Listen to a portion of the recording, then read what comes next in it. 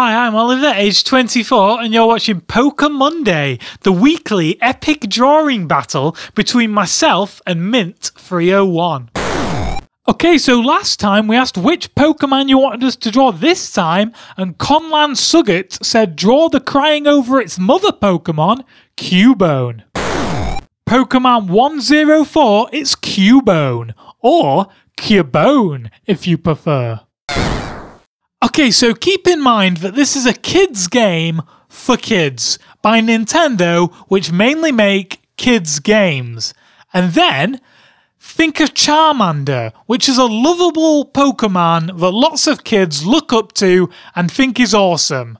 Now imagine if Charmander's mum died in front of him, and then he took her skull from her dead body and he put it on his head.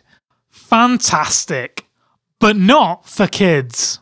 I mean, everybody complains about Grand Theft Auto giving a bad example for kids, but you don't see any kids walking around killing the parents and then wearing their skulls on top of their heads and then fighting people, do you?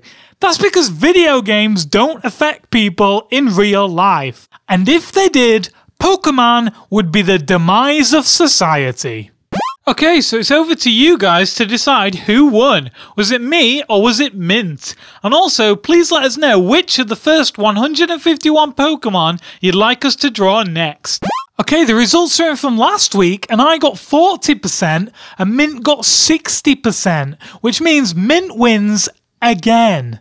In fact, I might just give my channel to Mint because it seems some of you guys just want to watch the world burn in minty hell. Do do do do do do do. Gotta draw them all. Pokemons. Team Oliver or Team Mint. You decide who won. And yes.